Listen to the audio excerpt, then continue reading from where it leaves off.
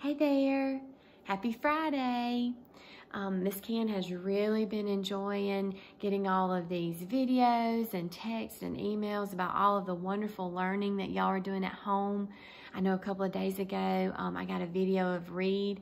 He was reading one of his books and just doing a great job blending. I was so proud of him. Um, I know several students are doing some science experiments and science lessons at home, working through that science book. Um, I know Joseph's mama texted me yesterday and said that this coming weekend they're going to plant a garden and try to grow some of their own vegetables. And then JD and London, um, his sister London, they planted some sunflowers and basil yesterday.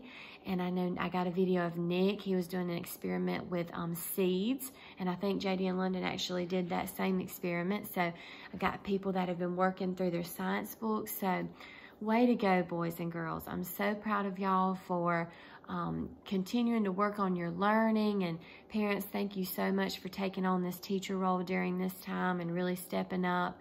Um, and with all this gardening and um, the kids, all these videos I'm getting, that encouraged Miss Cann. And so yesterday I actually got out in the yard too and I planted some new trees. I planted some um, red maple trees and some magnolias and I planted some new flowers. I planted some, it's a type of blue flower called Lithodora and then some roses, some hot pink roses. So y'all inspired Miss Cann. So I am so very proud of you and um, how you're being so responsible with um, this time out of school that we're having. Um, parents, if you haven't heard already, the date for us to come back to school has now been extended to April 30th. So us teachers are actually taking turns next week going to school to get new packets ready. And I believe Dr. Fowler is supposed to be sending out um, a phone blast letting you know when those new packets will be ready. So we'll be distributing those. All right, boys and girls. So this book is one of Emmy's. And um, she loves the Llama Llama books. And um, when I was reading to her the other night, I remembered she had this book and I pulled it out. And as I was looking at it, I said, you know what? This is the perfect book for what we're going through right now because not all of us are sick, thank goodness, but all of us are kind of stuck at home and sometimes run out of things to do and might feel like we're going to go kind of crazy at times. So I wanted to read this book to you. I thought it was perfect for right now. This is called Llama Llama Home with Mama by Anna Dewdney. And boys and girls, um, these books are known for their rhyming words. And if you remember, rhyming words are words that sound the same at the end.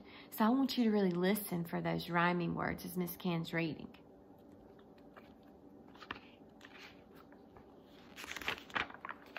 Llama Llama home with Mama. Llama Llama morning light, feeling yucky, just not right.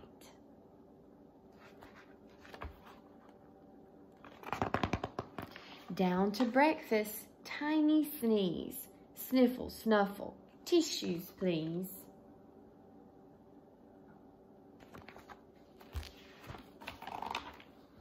Llama's head is feeling hot. Llama's throat is hurting lots. Achy, fever, stuffy head. Llama, llama, back to bed.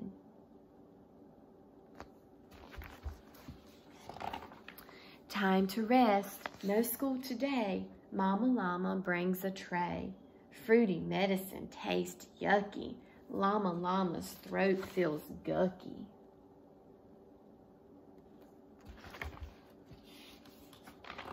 Look around, not much to do. Trucks are boring, tractors too. Make a tunnel for a train. Llama, llama, fuzzy brain.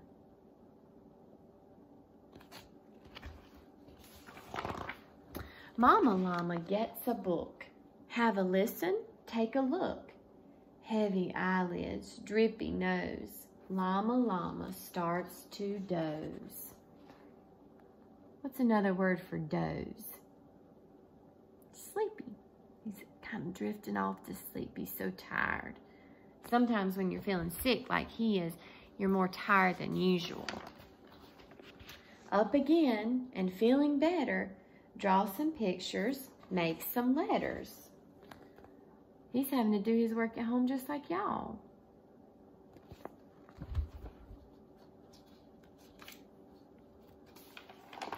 Llama wants a sandwich, please. Mama Llama starts to sneeze. Lunch is over, time for toys. Mama's head does not like noise.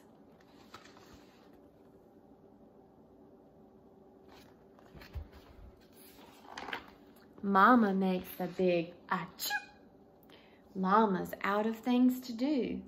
Uh-oh, Mama's throat is sore. Being sick is such a bore.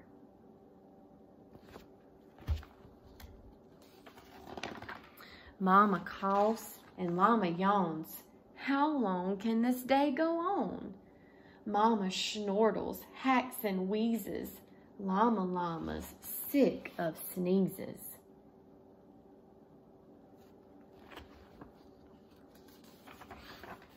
Soggy tissues, gobs of guck, sniffing, snorting, sneezing, yuck.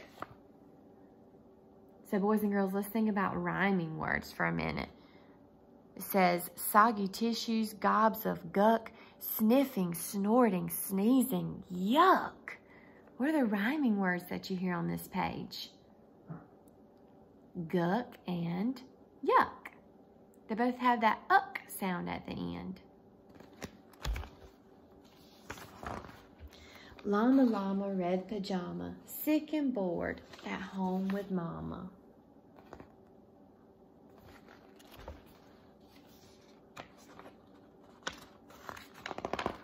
Wait, Llama Llama knows what's best. Mama Llama needs a rest.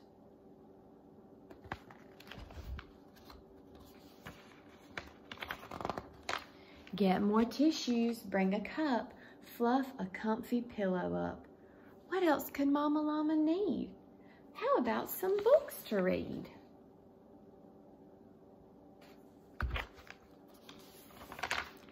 Just the thing for Llama Llama, sick at home.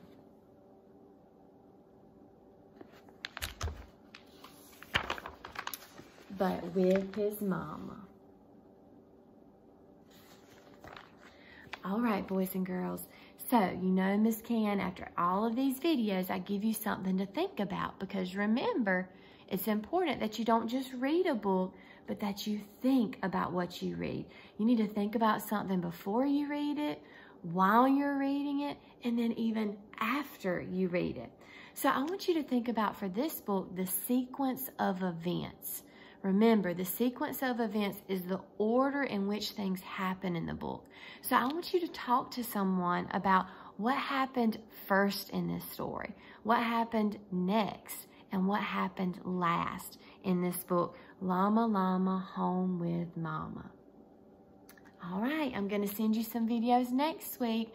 But until then, have a great weekend, okay? Stay safe and healthy.